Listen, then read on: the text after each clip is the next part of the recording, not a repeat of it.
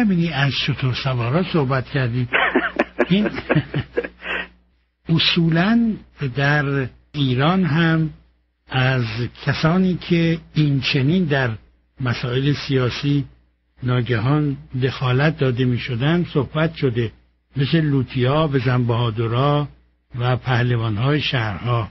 بله بله. تاریخ ایران پر از این نمونه ها است اصلا در تاریخ ما از زمان نخستین شورش جدی در مقابل عرب که یعقوب لیس و ایاران در واقع ایجاد کردن اصلا اصول اصلا ایاری یک پدیده البته واژه عربی ایاری که برگردان درست جوانمردی نیست ولی وارد زبان فارسی شده. این جوانمردان در تاریخ ایران قبل از اسلام هم وجود داشتند و یک جریان اجتماعی محسوب می شدن. البته این ایاران و جوانمردان همون لوتی ها و لات هایی که این واژم به نظر می آید از همون آمده باشد نیستن ولی به تدریج تحول پیدا کرده پهلوانی آدم هایی که در شهرها اهل بزن بهادری بودن قدرت داشتن در درازای تاریخ ایران نقش بسیار مهمی داشتن حتی یکی از بزرگترین جنبش های گسترده تودهی شیعی در خراسان جنبش معروف به سربداران در آغاز کار اصلا از این راه شروع شد. یعنی رهبر این جنبش در آغاز کار کسی بود به نام پهلوان عبدالرزاق باش باشتینی. کشتیگیر بود. یعنی از یه خانواده زمیندار بیرون آمده بود ولی شهرتش در این بود که رفته بود در دربار آخرین پادشاه اون دوره مغول ایلخانیان. اونجا شهرت پیدا کرده بود و اونجا در واقع به یه جایی به یه مقامی رسیده بود و از اونجا در واقع آمد و حالا جزئیاتشو نمی‌خوام بگم در نزدیک سبزوار تبدیل شد پرتاب شد به عنوان یک رهبر یک جنبش اجتماعی و اصلا در جنبش سربداران خیلی پهلوان های دیگری هم نقش داشتن مثل پهلوان حیدر قصاب و خیلی های دیگر. و اصولا این نوع موقعیت ها در زندگی شهری و روستای ایران جزو سنت های تاریخی جامعه ماست و به تدریج این این نوع رفتارها با کارهای تا حدودی شاید بتوان گفت اون که امروز می‌گوییم اوباش یا دسته های باجگیر شهری پیوند پیدا می‌کنه چون اینها یه موقعیتی پیدا می‌کنند در درازهای تاریخ و قدرت پیدا می‌کنند تبدیل می‌شوند به یک نیروی اجتماعی. در دوره صفوی اوج رشد این نیروهاست اصلا این واژه هیدری نعمتی که به فرهنگ ما وارد شده و خیلی ها هستن آشنا نیستن با این عبارت. برمیگردد به دعوای دو گروه در آغاز کار. اصلا بیرون از آذربایجان یعنی رهبر هیدری ها از یعنی طرفداران کسی بودند از تربت هیدریه. اصلا تربت هیدریه به این دلیل تربت هیدریه نام گرفته و طرفداران شاه نعمت الله ولی و اینها دعوای هیدری نعمتی بین دسته های صوفی و دسته های اوباش دسته های لوتی در شهرهای مختلف ایران بالا می‌گیره. و ارتباطی هم با مذهب نداشته. اگرچه خب طرفداران هیدری بیشتر شیعی متعصب بودند.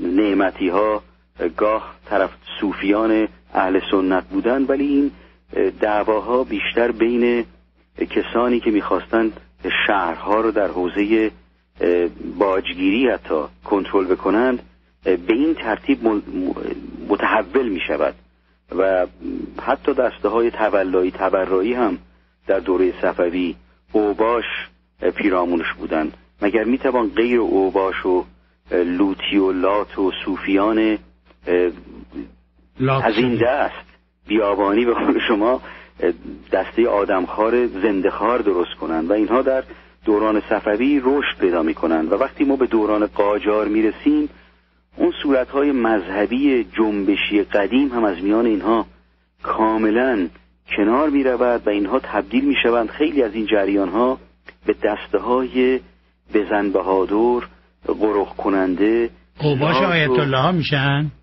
یه دوره خیلی بعدش بله در, در هم طرفدار آیت الله ها و آخوندها بودن هم با حاکمان پیوند پیدا می کردن ولی در دوره قاجار به تدریج نیروی تبدیل می شوند اینها که به درستی فرمودید که به دلیل باورهای بسیار ظاهری مذهبیشون که شهر رو در واقع با زواهر مذهبی کنترل می‌کردند همین جاهل ها و بزن بهادرها و لات ها و حالا بگیم لوتی ها اینها به سپاه و چماغداران روحانیون پیشوایان دینی در شهرهای دوران قاجار در برابر داروغه های قاجار داروغه های حاکمان قاجار تبدیل می شوند و بر سر اداره شهر گاه با دولت مرکزی و علیه حاکم محلی فرستاده شده از سوی دولت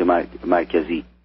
دشمنی داشتن گاه با دولت با حاکم محلی متحد می شدن در برابر دولت مرکزی. ما نمونه های خیلی زیادی از این رو در تاریخ معاصر ایران. حالا معاصر به معنای دی بیست پنجاه ساله گذشته ایران داریم که یکی از نمونه های خیلی برجستش برمیگردد به ماجرای پس از فتوای جنگ ایران و روس و شکست نیروهای ایران که روحانیون در واقع فتوای اون رو داده بودند که امیدوارم یه روزی باز با شما درباره این نقش روحانیون در پراکندگی ایران و تجزیه ایران صحبت بکنیم.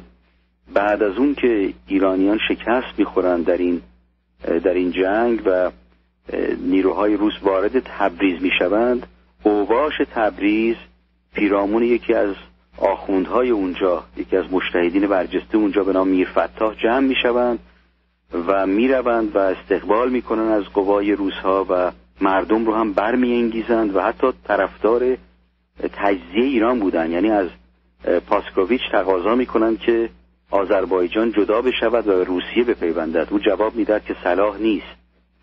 و این اوباش در این کار درگیر بودند چند سالی بعد از اون همین اوباش تبریز ماجرای اون گابی رو که امیر کبیر باش درگیر شد رو راه انداختند می‌دونید که گاوی در شهر تبریز یک سال پس از آغاز زمامداری امیر کبیر به عنوان صدر اعظم ناصر شاه موقعی که قصاب اون رو میبرده که سرش رو ببره ریس، اون تناب اون ریسمانی که دستش بوده از اون رو رها می‌کنه فرار می‌کنه میره در میدان صاحب زمان تبریز به یه بقعه یه جایی که به حال محل بس میشینه. پناه, پناه می‌بره. بله؟ بس میشینه. حالا پناه برده بوده گاو بوده نمیفهمیده بستشینی چیه. البته خب اونها هم شاید شعور دینی داشتن. وقتی قصاب میره که این گاو رو از اونجا رها بکنه در این کشاکش قصاب سکته می‌کنه و اینکه خدمتتون میگم تاریخ گواهی بر این داده داستان نیست. قصاب سکته می‌کنه و در جا میمیره. و بلافاصله آقایون علما میآیند و مجتهد تبریز و خیلی های دیگه به کمک همین لوتی ها و دسته های اوباش اعلام می‌کنن که معجزه شده امام زمان. جان این گاو رو نجات داده. گاو مقدس یک لباسی هم بر این گاو میپوشونن و مردم میان و می‌گویند که تاریخ نویسان نوشتن که موی بر تن این گاو پس از دو روز باقی نمون چون موی او رو میبردن تا پالب و مو و همه چیز این گاو رو برای شفا میبردند و جنجالی به وجود میاد که سرانجام با دخالت امیر کبیر و فرستادن یک نیروی نظامی و تبعید چند نفر از روحانیون اونجا به پایان می‌رسه. اوباش در این کار بسیار نقش داشتند. یه نمونه دیگری از همین نقش اوباش در کشتن گاریبایدوف هستش که گروه گسترده از اوباش تهران در همون دوران در همون دورانی که برای مذاکره آمده بوده گاریبایدوف به ایران شاعر معروف اصلاح طلب رادیکال روس که وزیر مختار روسیه در ایران شده بوده میریزن در اونجا به سردمداری یکی از مجتهدین تهران آدمی که به نام میرزا مسیح مجتهد معروف هست میریزن و او و سی و نه نفر از همراهانش رو می‌کشند و ماجرای بسیار بزرگی به وجود میاد. همه اینها درش اوباش درگیر بودن و اصولا همونجور که یحیی دولت آبادی نوشته می‌گوید که هیچ روحانی نبود که یک گروهی از اوباش رو پیرامون خودش نداشته باشه. و اینها دسته های بزن بهادر داشتن دسته های باجگیر داشتن که البته معروفترین اینها در میان کسانی که دسته اوباش و باجگیر در دوره های قدیم داشتند سید محمد باقر شفتی است. که در حدود سال آیت الله بوده؟ بله بیشتر از آیت الله که بزرگترین فقیهان و مجتهدین زمان خودش بوده در اصفهان و کسی است که قصص العلماء دربارش نوشته که از زمان ائمه اطهار تا آن عهد هیچ یک از علمای امامیه آن اندازه صرفت ثروت و مکنت به دست نیاورده بود. او یه آدمی بوده که از زندگی مختصری شروع می‌کنه درس دینی می‌خوانه خیلی جایگاه دینی بالایی داشته معتقد بوده به اینکه فقیه باید شخصا حدود شرعی رو اجرا بکنه و به دست خودش بین 100 تا 130 نفر رو سر بریده و بعد جنازه اونها هم نماز میگذارده و گریه می‌کرده بر کسانی که بر حال اون کشته بوده. اول میکشته بعد گریه می‌کرده. بله دیگه گریه می‌کرده که خدا اینها رو شفا بده. بعد بله. ایشان از یک زندگی بسیار محقری شروع می‌کنه. عجب تاریخی داریم. بله از لاه شرعی در اصفهان به جایی می‌رسی که دو هزار دکان و چهارصد کانوانسرا داشته و چندین هزار هکتار زمین داشته سالیانه. در سال آخر زندگیش سیصد هزار تومان درآمد نقدی داشته و چندین هزار خروار برنج از روستاهای اطراف اصفهان می ستانده یعنی باج می گرفته از روستاییان. آدمی بوده که می توانسته مال مردم رو بر اونها حرام بکنه و در نتیجه بسیاری از معاملاتی رو که به او رجوع می کردند در نهایت ملک رو به نام خودش می کرده سی هزار لوتی و طلبه از او دستموز می گرفتن در اصفهان و هومه و مجموعی استان اصفهان امروز. و این سی هزار کسانی که به خصوص لوتی هایی که از او حقوق می گرفتن همین اوباشی که خدمتتون عرض کردم می‌رفتن جنازه ها رو بعد از مرگ یک نفر اگه ثروتمندی بوده نگه می داشتند و جنازه رو آزاد نمی کردن تا سهم امام های پرداخت نشده نمازهای خوانده نشده و حق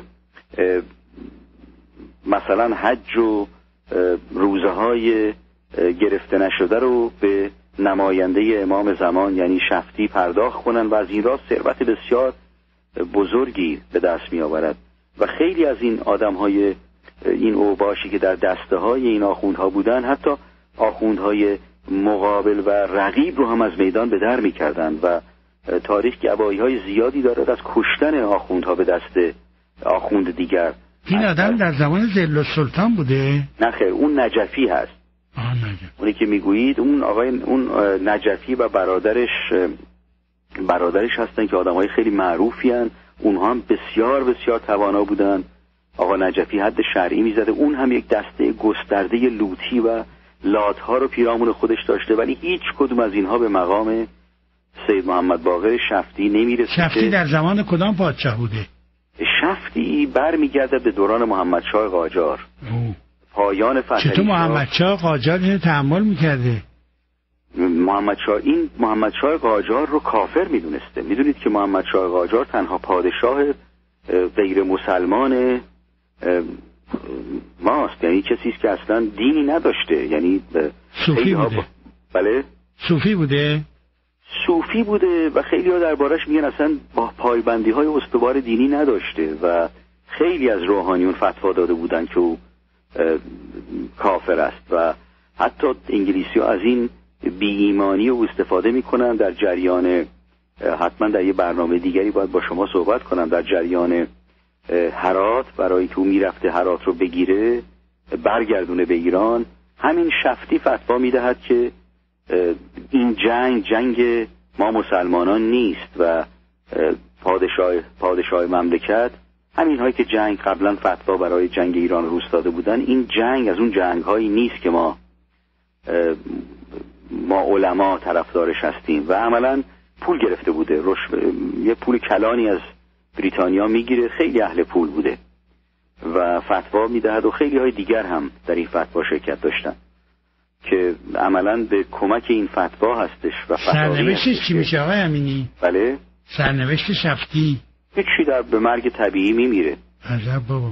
بله. به مرگ طبیعی در سن اشتباه نکنم حدود 80 سال زندگی می‌کنه و میمیره و این دسته های لوتی که دورش بودند الواتی که به قول معروف امروز می‌گوییم دورش بودند اینها نیروی ضربتی نه تنها او بلکه بسیاری از روحانیون برجسته شهرهای مختلف ایران در دوران قاجار به شمار می آمدن و اصلا اونها یک از طریق این لات ها از طریق این اوباش که خیلی هم ادعای مذهبی می‌کردن اینها شهرها رو قرق می‌کردن از دست حاکم خارج می‌کردن.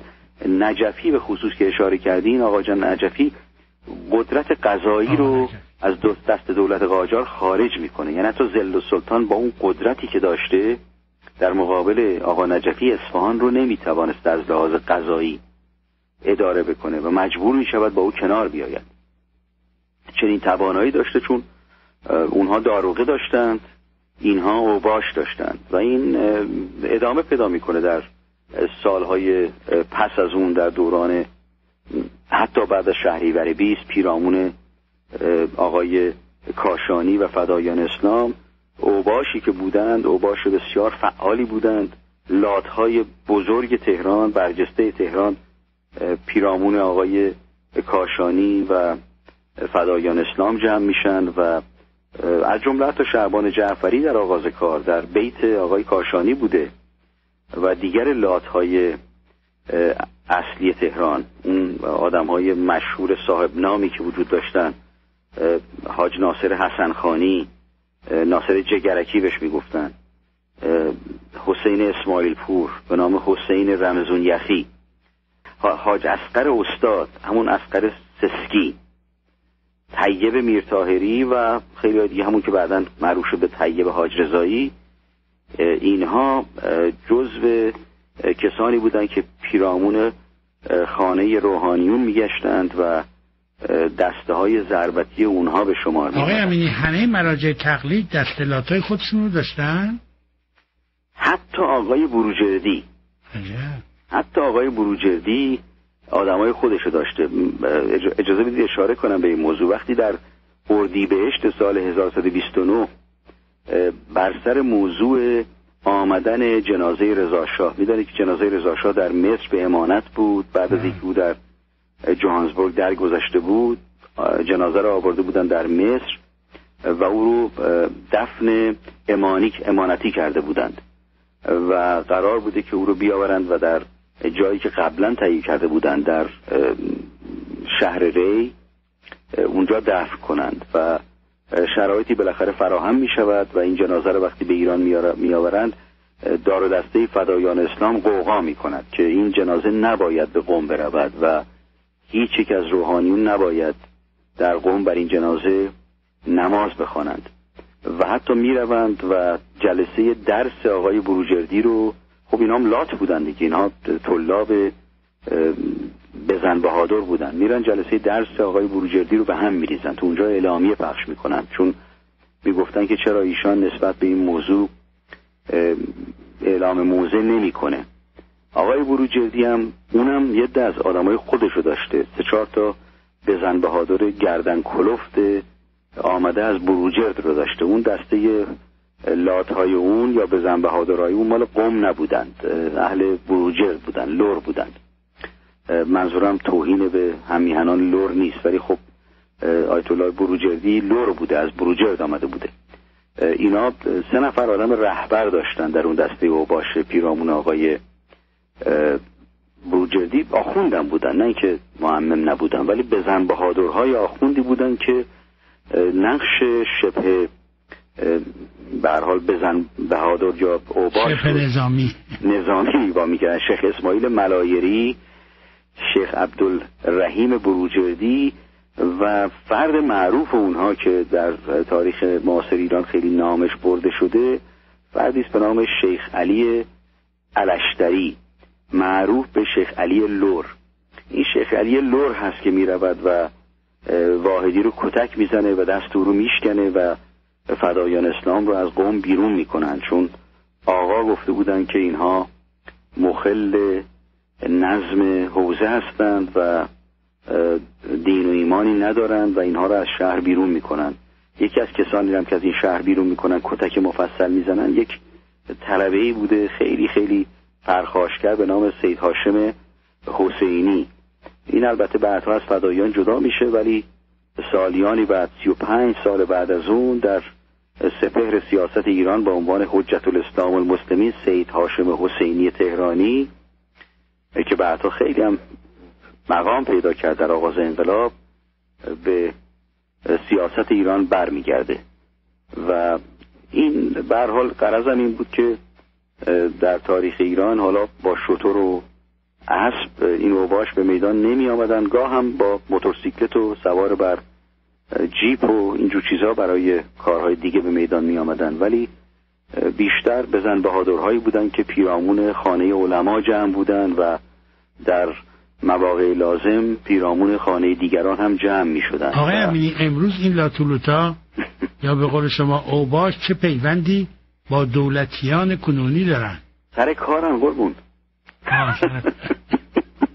بسیاری از اینها به قدرت رسیدن فکر نکنید که نگاه اگر به ترکیب آغازین دولت در ایران بکنید خیلی از اینها به قدرت رسیدند. بعضی از اونها به نام مداح و دسته های گرداننده ازاداران و گرداننده مساجد و کارهای دیگر هنوز در میدان هستند و رهبری می‌کنند. نیروهای سرکوبگر رو اگر لازم باشد و به ویژه در شهرهای کوچک دارای امکانات گسترده هستند. منتها تفاوت امروز با سالهای گذشته در این است که در گذشته این لاتها و اوباش باید می‌رفتن و از راه ضرب و شت به مردم و باج گرفتن زندگی می‌کردند. یعنی از اونها در واقع پول می‌گرفتند.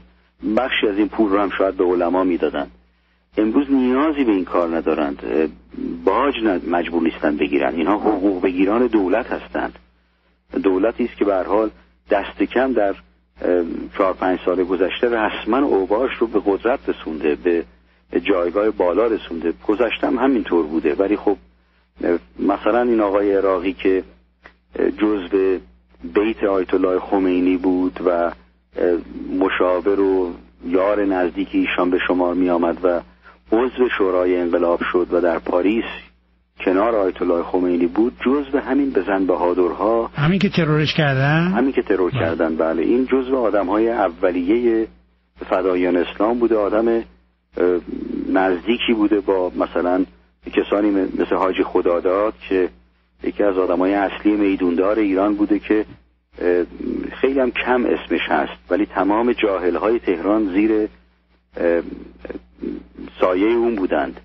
میدان تره و دیگر میدانهای اصلی ایران رو همین حاج خداداد اداره می‌کرده و بله من دیده بودم. بله طیب و همین رمضان یخی و دیگران از کسانی بودند که براش کار می‌کردند. و اینها در واقع نزدیک بودند به دلیل باورهای دینیشون. خیلی نزدیک بودند با روحانیون از جمله همین آقای عراقی که آدم بسیار باورمندی به مهدی عراقی؟ مهدی عراقی حاج حاج مهدی عراقی بعد بعد از انقلاب یه اعلامیه علیه من داد. چند تا مقاله من نوشته بودم. خب. همین یه اعلامیه علیه من داد براتون میارم می‌خونم. آقا شانس آوردید زنده از دست این آدم در بله. باید شما بخوانید این کتابی که دیگه جمهوری اسلامی اجازه تجدید چاپشو نمیده به نام ناگفته ها مال همین گفتگوهای مهدی عراقی در پاریس موقعی که ایشان در نفل و شاتو دانشجویان اسلامی باش مصاحبه کردن این کتاب منتشر شده.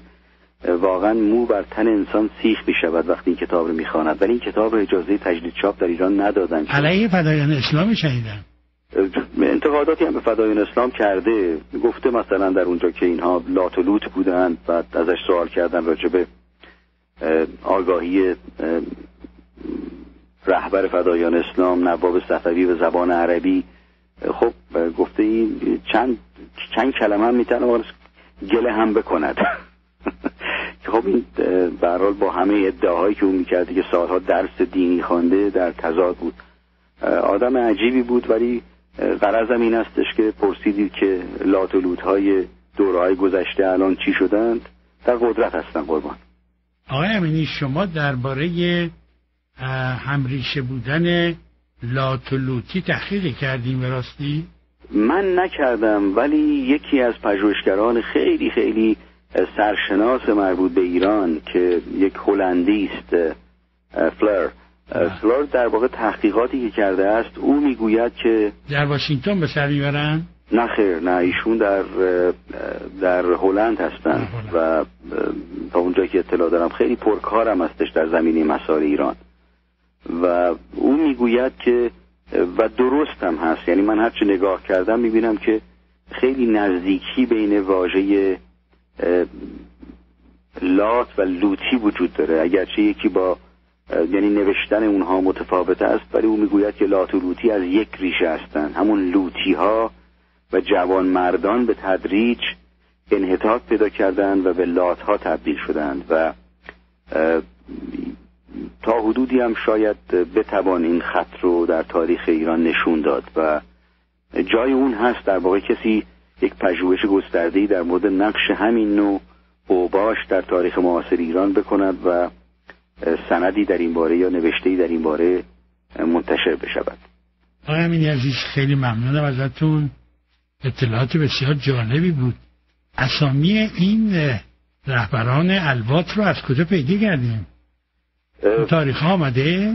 نه خیر اینجا اونجا در واقع آمده دیگه. یعنی بعد از صحبت با افراد میشه اینها رو در واقع پیدا کرد و در بعضیش در بعضی از تاریخ ها آمده ولی در واقع خیلی پراکنده هستش این اطلاعات و یک جا جمع نیست.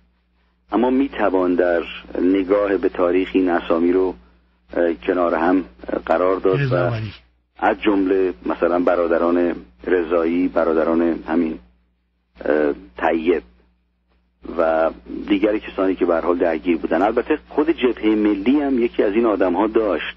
ولی آدم بسیار شریفی بود. به نام عبدالله خان قصاب که در یه زد و خوردی با شعبان جعفری و یارانش چاقو زدن به سرش و تا پایان کار این تا پایان زندگی این بخشی از تیغه چاقو در کلش بود در یعنی وارد شده بود اصلا در مغزش. همه گروه ها به حال داشتن از این دار دسته ها خب خیلی ممنونم ازتون. خسته نباشید. تا هفته آینده. سپاس گذارم